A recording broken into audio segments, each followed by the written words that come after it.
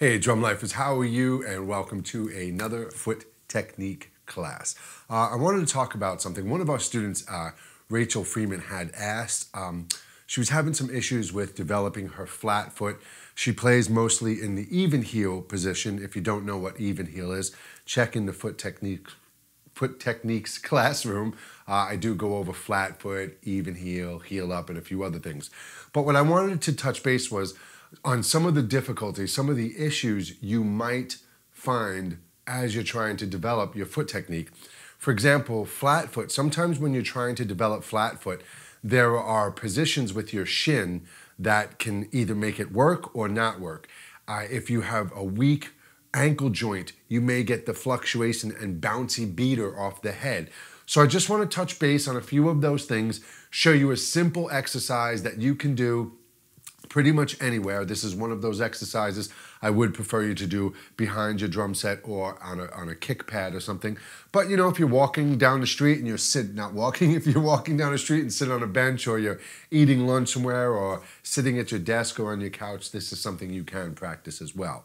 Uh, and it's going to be simple. It's just going to be uh, a, a flat foot stroke and an even heel stroke into a flat foot stroke.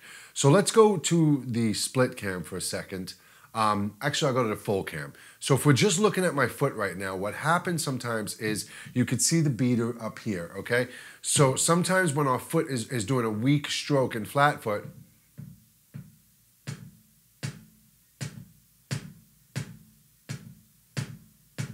see how sometimes I'm getting that double, that bounce stroke?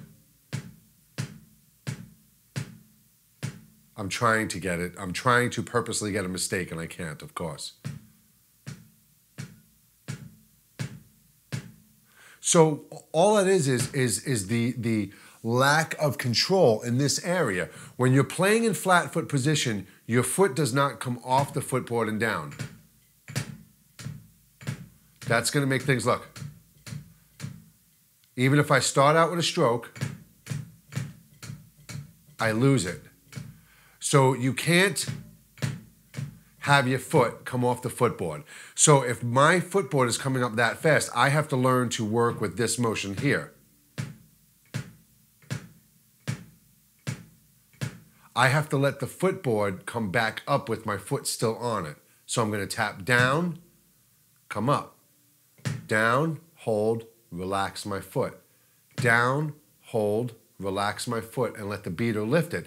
Once I get used to that, down and holding my foot, against the beater, you know, holding uh, right here against the beater, holding my foot down. When I do this, I relax my ankle joint. I just relax my toes and my foot. I'm not doing anything with my shin right now. I just relax my foot and the beater comes off. I come back down, I relax my foot, the beater comes off. When I get used to this after days or weeks or hours of practicing it, I can then go a little faster. I could close the gap in between that, that that amount of space that I'm allowing the pressure to sit there. So instead of down, relax, down, relax, I can down, up, down, up, down, up, down, up, down, up.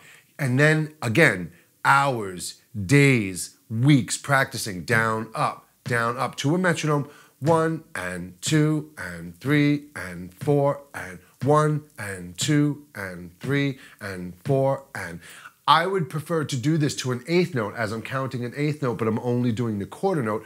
I'm doing that so I have that reference between the quarter notes. As I'm developing this, I don't want to have to one, two, three, and just try and guess it. So if I put my metronome on an eighth note count, I get that free, that free click in the middle to set me up. Beep, beep, beep, beep, beep, beep, beep, beep, beep. right? So again, days, weeks, months, I can shorten that space up between it again. My foot starts getting used to where that pedal control is. All right, and I'm still keeping the beater against the head, but I'm coming off of it quick. Even if I do this, you could see, and this pedal is developed, uh, is, is purposely very loose. The tension and spring on it is, is very loose. I know it looks springy and stuff, but it really isn't, and I do have the action the, the beat of pretty far back on this. See, it comes down pretty far when I just tap the pedal.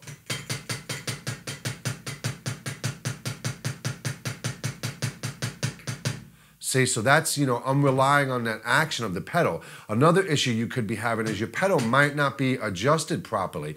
You don't want so much tension that you gotta, uh, uh, uh, and you also don't want it that when you take your foot off, it, it doesn't have any response.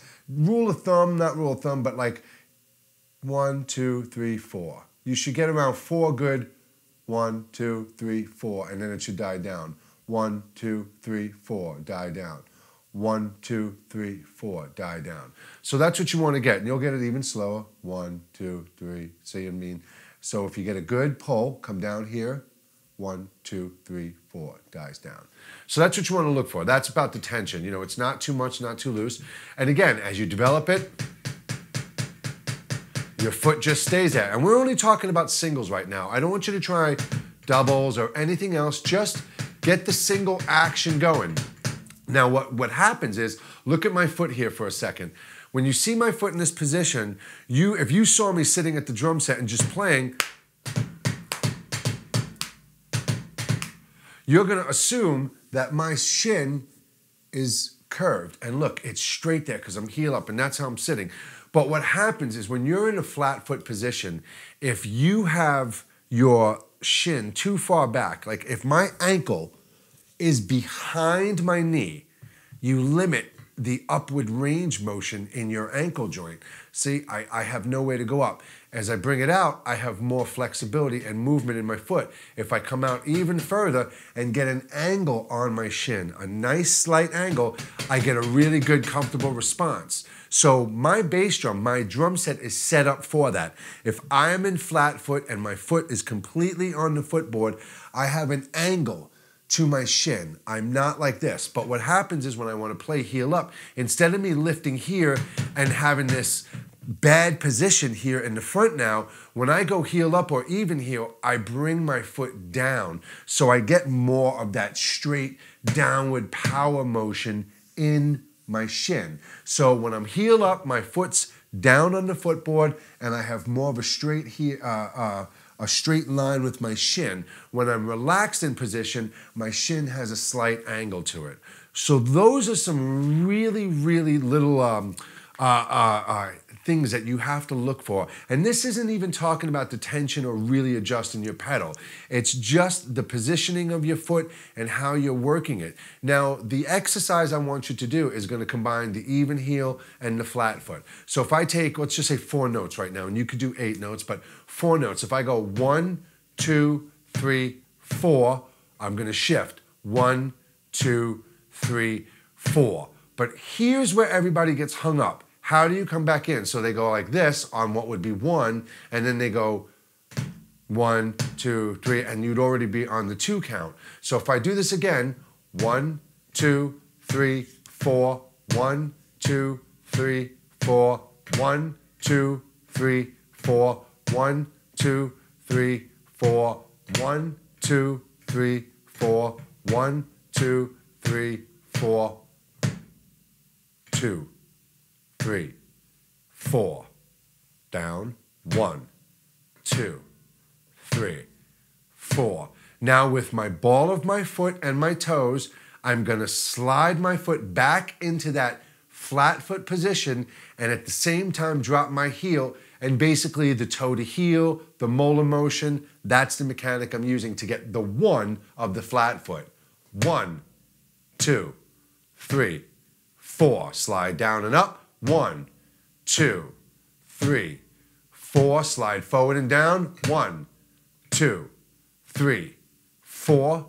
One, two, three, four. You could practice this, of course, eighth notes, sixteenths, whatever you want, triplets. But let's say eighth note. One, two, three, four, five, six, seven, eight. One, two, three, four, five, six, seven, eight. One and two three and four and one and two and three and four and. Again you want to practice this to a metronome because the metronome is perfect timing. That's it. End of story. You're not perfect timing the metronome is perfect timing. So if you work alongside to the metronome and get your strokes exactly on that quarter note or eighth note, whatever you're working on, wherever you're trying to land it, if you get it in sync and you're not hearing the metronome and you're on it, that is absolutely fantastic because that is insanely important development. The other aspect, of course, for the metronome, you know where you started and you can see your progress. Oh, I sucked today. I started at 30 beats per minute flat foot. Look, a month later, you're up to 120 beats per minute or where, wherever you will be. But that's why you really want to use the metronome. It's key in your development. It's key for your timing, your feel, your fill development, everything. You can't develop as a drummer properly without using a metronome. Hands down, fact, okay? And again, flat foot, Make sure you really are in a good position. Make sure your pedal's not too tight and too loose. And like I said in the beginning, practice that. Do those strokes to see where your foot's coming down with your footboard. Film it so you can literally see it from the side. Set up a camera, your webcam, so you can see it live on your screen and you can make the necessary adjustments to your technique and position as you're trying to develop it. Okay? I hope you find this information helpful. Again, make sure you get out there and spread the word, mydrumlife.com. You could also direct people over to my free site, freedrumcoaching.com. Again, youtube.com forward slash drummerjaies, facebook.com forward slash drummerjaies, Instagram, drummerjaies, Twitter at drummerjaies. Everyone, have a great week. I'll see you soon. Thank you so much.